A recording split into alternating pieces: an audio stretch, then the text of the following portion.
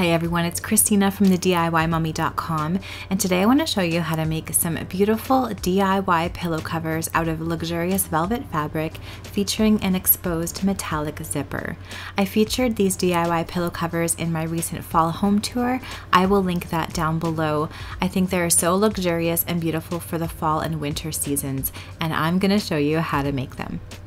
First of all, purchase some fabric from fabric.com. I found this fabric in a beautiful deep teal color in a sort of upholstery grade beautiful velvet fabric. I will link to it down below. Next, cut two squares that are the same size as your pillow insert.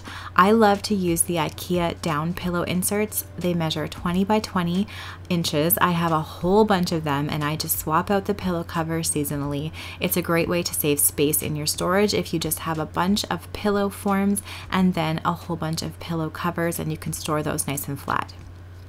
So I cut one piece of velvet that was 20 by 20. Then you can use that piece to measure out your second piece of velvet, and that's also going to be 20 by 20 inches. The reason I make these the same size as my pillow inserts is because once I have the seams on here, the pillow covers are going to be about one inch smaller than the pillow inserts, and that's going to create a nice fluffy looking pillow. I found this copper colored continuous zipper on Amazon. I will link this below as well. I absolutely love these zippers. I have the copper version and I have the gold version and you get a lot of zipper for a really great price.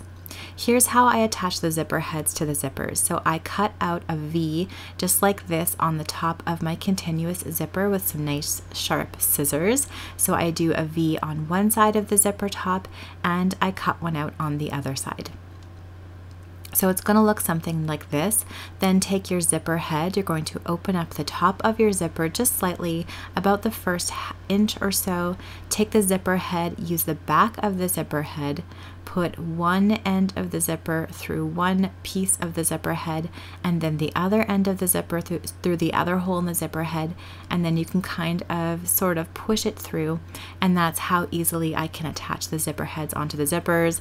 It's kind of tricky um, at first but once you get the hang of it this is a really quick way to do it. Next, make sure to cut the zipper to match the length of your pillowcase. So in my case, mine are 20 by 20. Next, you're going to create some pillow stops out of extra fabric. So I just cut two rectangles out of my fabric that were two inches long by one inch high. You can add these or you cannot. I've done a couple different versions of the pillow. They're a little bit better with the pillow stops. The zipper doesn't quite go to the end this way. It kind of helps keep the pillow lasting longer, um, but they aren't, they aren't totally necessary. I've done pillows without them as well. So you're going to fold them in half and you're going to sew them on either end of the zipper just like this so it creates this nice little stopper that's the same color as your fabric. So I'm just using a sewing machine. I will link to a similar sewing machine down in the description box below. Love this one. It is very, very simple, but it always does exactly what I need it to do. So you're going to sew one of these pillow stops onto each side just like this. Then you're going to take your zipper, you're going to put it uh, right sides together to one of the sides of your velvet squares. And then you're going to pin it to the top of the velvet square just like I'm doing here. I use three pins, you could use more if you'd like. You're going to want to use a zipper presser foot. So this has only one side of the presser, presser foot so that the zipper, the bulk of the zipper can go beside it like this. And then you're going to go ahead and sew along as close to the zipper as possible. You're going to sew the zipper onto the top of your square of fabric. The closer you can get to that metallic part of the zipper, the better, because the less white showing, the better the effect at the end. If there is a little bit of white showing on your zipper, it's not a big deal. You won't really see it, but the less the better for sure. So here's how my zipper looks sewed to one side of my pillow case, just like this. Next, you're going to take the other piece of velvet fabric. Just make sure the nap is the same as the first piece. So when you brush it, it's going to look the same. So when I brush down on both these pieces, they look the same. And then you put those right sides together and then you're going to pin that new piece to the zipper as well, just like this. So matching up the end of the zipper to the square of the fabric. Next, go ahead and sew this side of the zipper to that side of the fabric. Again, use the zipper presser foot and go as close to the metallic part of the zipper as possible.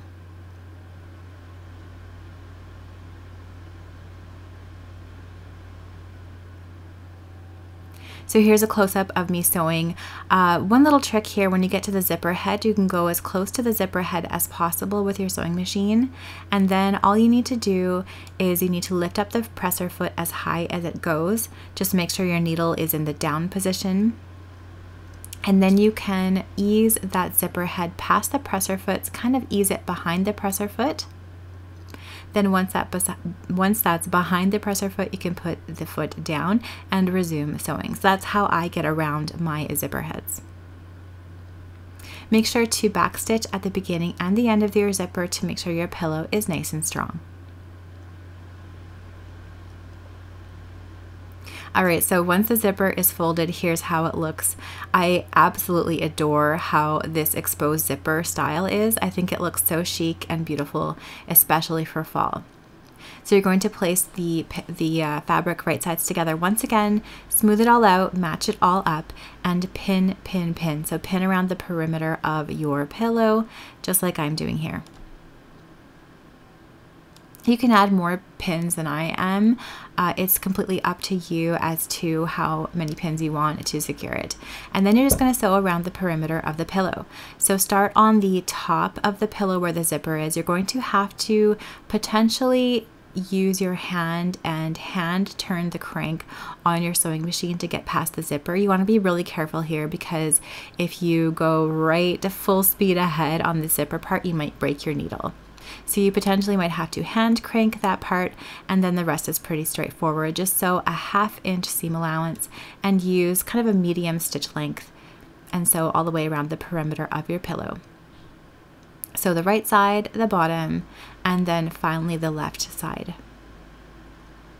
And again, once you get to the zipper at the very top of your pillow, you kind of fold it up so that the uh, seam allowance looks like this here.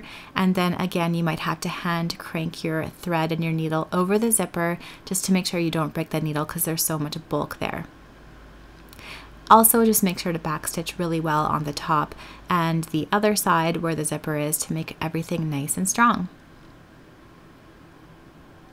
Next, cut the corners of your pillowcase like I'm doing here. What this does is it takes the bulk away from the corners from the fabric and then when you turn your pillow right side out, the corners are nice and smooth. Then you can ease open the zipper and turn your pillowcase right side out.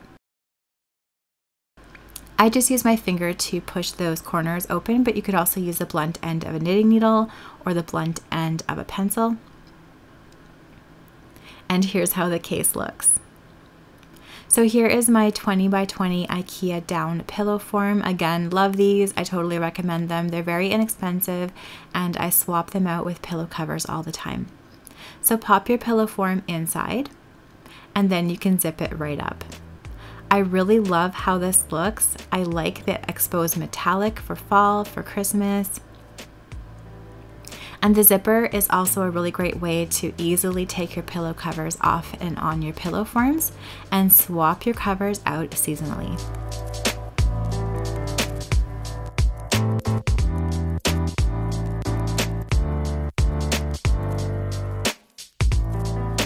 Thank you so much for watching this video. I hope you enjoyed this velvet pillow tutorial. Let me know down in the comments below if you would try to make this or let me know down in the comments below what other types of pillows you've made. I would love to hear. Please give this video a thumbs up if you enjoyed it and subscribe to my channel for more DIY and decor ideas on a budget. I'm going to leave some more videos that I hope you're going to enjoy up in the left hand corner.